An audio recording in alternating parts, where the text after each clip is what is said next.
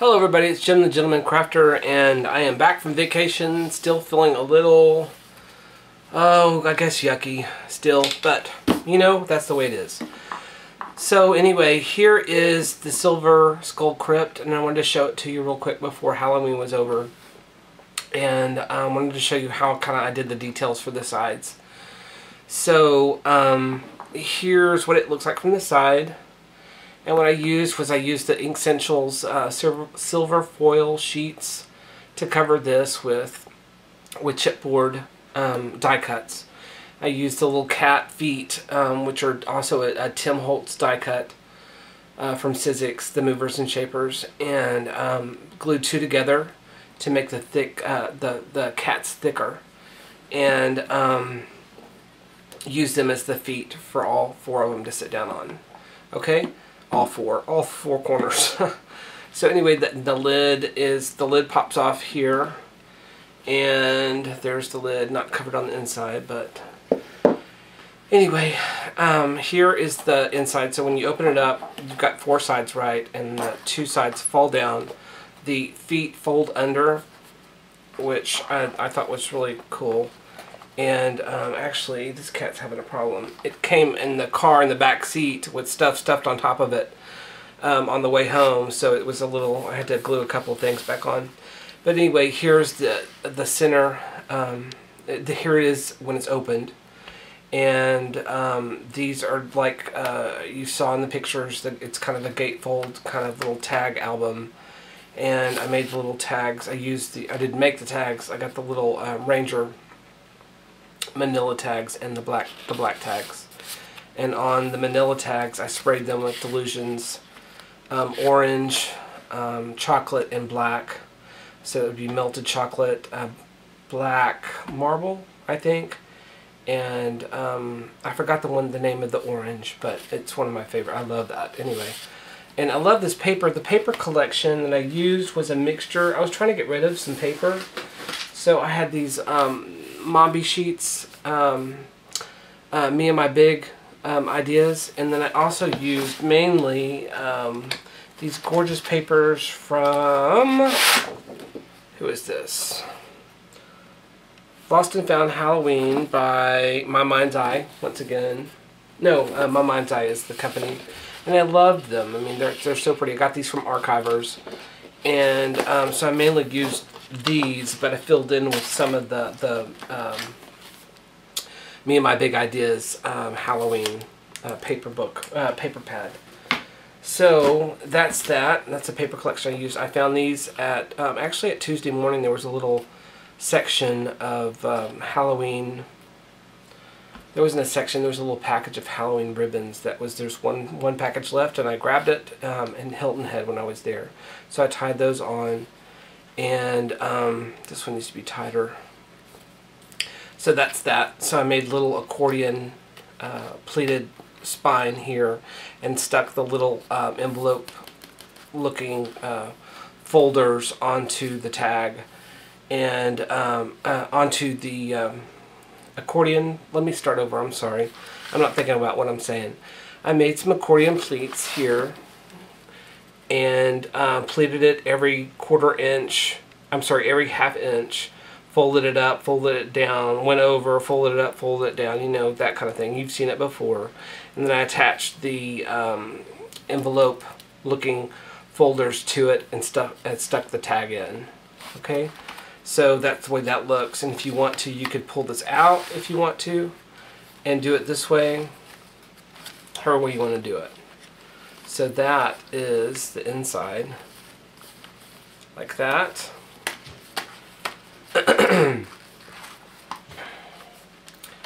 I love to do that. It's kind of fun. I don't know why. Crazy. And then, so that's that. So that folds back up. The cat feet, once again, fold back up to hold it in, into place. And the lid um, goes down on it. Okay, so I'm going to put that over here for a second. And I really want to get to, to this. I want to show you how to do this. Um, I took some chipboard, medium weight chipboard, and I cut from it some more medium weight um, die cuts from Tim Holtz. This is the filigree and this is the bone and skulls. And um, I glued them on with um, glossy accents onto the chipboard. Can you see that? You can kind of see the raised area there. And you don't have to worry about the glue seeping out because it's going to be covered anyway.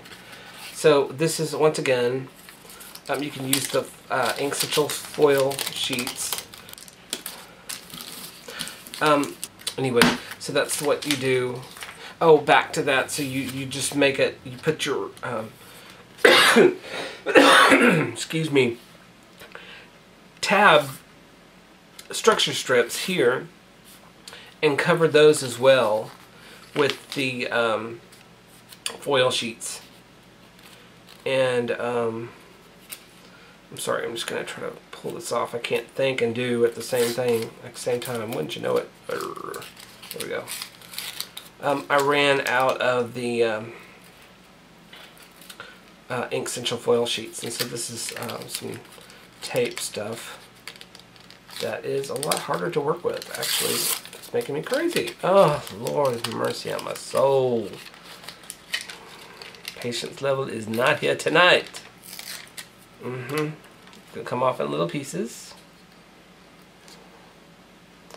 So, this is why I prefer the other over anything else. Because this doesn't happen. But maybe you'll have better luck with it, and God bless you. But for me, anything that can save me from a heart attack, that's what I want to use. So, anyway, um, overlap it just a little bit. I kind of push it down in the cracks before I completely take it down. Okay, so let's just stop there because that's enough for y'all to get the idea. Kind of did this business with it and, and kind of ran it over with my finger. And um, once again, if this, once again, I haven't said this yet, if it cracks, and it will, like right here, don't worry about it because you're going to um, cover it with black um, paint anyway. Okay, so we've got our tape on, right? And so the background, what we're going to do the background to give it kind of that texture is I just did little doodles like this all the way around it. You know what I mean? And it didn't matter and I'd go backwards and I'd go overlapping. It just doesn't, it doesn't matter. And that's how I did the background. And then um, once you get the back, it goes pretty quick. And it's kind of fun to do. I don't know. It's just kind of mindless. So um, watching TV or something, you can even, like I said, you can go over it. I didn't want it to look like it was lines. And so I kind of go down here and go back up here. Go down here, come back up and fill in. That kind of stuff. Just, it's going to be a place for the black paint to get into those grooves and lie and make it look a little bit like it's standing out, which I think is cool. So, um, um, I think I said if if the if the foil busts, which it will when you get into these tight spaces, don't worry about it. The black paint's going to cover that up. Just kind of look like you're um, doing your little texture thing. So. Um, I'm going to go over his mouth. I know his mouth is over here and I know his nose is here. And once again, see like that, uh, you don't see that. Can you see where the nose, the foil busted through to the, the chipboard? Doesn't matter because you're going to go over it, like I said, with black paint. So don't worry about that.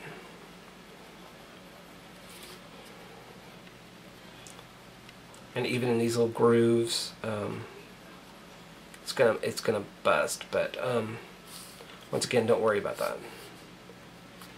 Um, it, it, uh, it is so much fun to do. I don't know why this is so much fun. I think because I don't have to think about anything. You know what I mean? I don't have to measure anything or I have to to uh, figure out what I've done or how to do it. You know, it's just kind of, you know how to doodle. So you just kind of do that and let it go.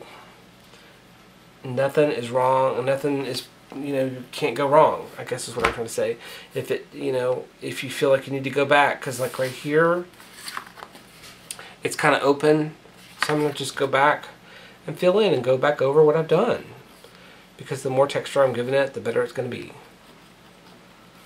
so just like that that's how i did it and then i kind of went back and um, pushed this down a little bit further you know what i mean So then um, next, actually, you know what? Let me put this on pause because I didn't grab the black paint, so I'll be right back.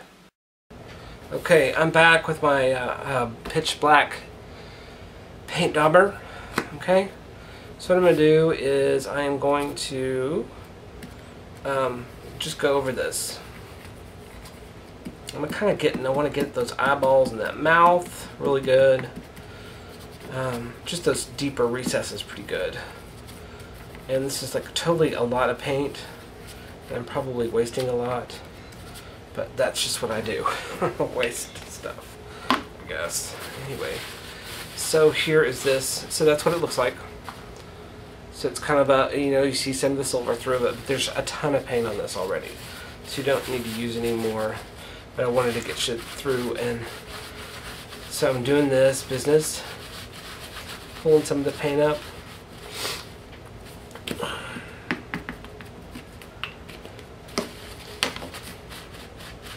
Did I just say I had enough paint? anyway, there's that. I'm kind of letting it dry just a little bit.